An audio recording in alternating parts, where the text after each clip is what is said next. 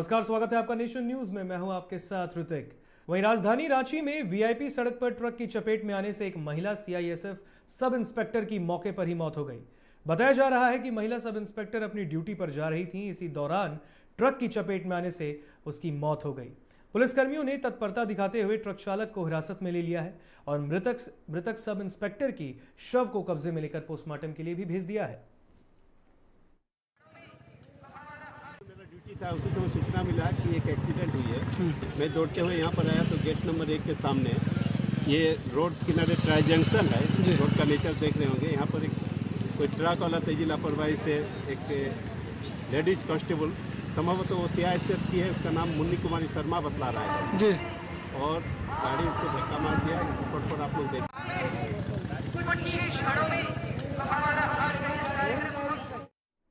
तो इस पर विस्तृत जानकारी के लिए हमारे साथ रांची से हमारे संवाददाता कृष्णा जुड़ चुके हैं।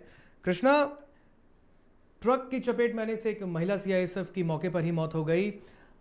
क्या ट्रक चालक पर अब तक कोई कार्रवाई की गई है? क्योंकि सुनने में आ रहा है कि ट्रक चालक जो था वो मौके से फरार हो गया। क्या इस पर अब तक कोई कार्रवाई हुई है?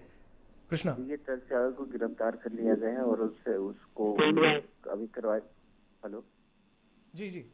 जी कृष्णा बताइए। ट्रक चालक को गिरफ़्तार कर लिया गया है, गिरफ़्तार करके अब उससे पूछताछ की जा रही है। और मैं आपको सबसे बड़ी बात बता दूँ कि जो नया विधानसभा है, वहाँ पर आए दिने ऐसी घटनाएँ सुनने को मिलती रहती है, क्योंकि वहाँ पर न कोई स्पीड ब्रेकर है, न कोई और वो जो एरिया भड़ा का एरिया है, वहाँ से लोग आए दिनों हर दिन हज़ारों की संख्या में वहाँ से लोग गुजरते हैं।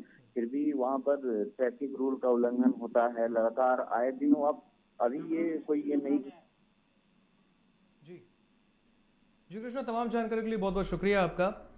तो रांची के रांची के वीआईपी सड़क पर ट्रक की चपेट में आने से एक महिला सीआईएसएफ की मौत हो गई है और फ़िलहाल अब ट्रक चालक जो कि ड्राइवर था, उसको पकड़ लिया गया है। इस पर कार्रवाई करते हुए पुलिस ने आरोपी ट्रक चालक को गिरफ़्तार कर जेल भी भेज दिया है।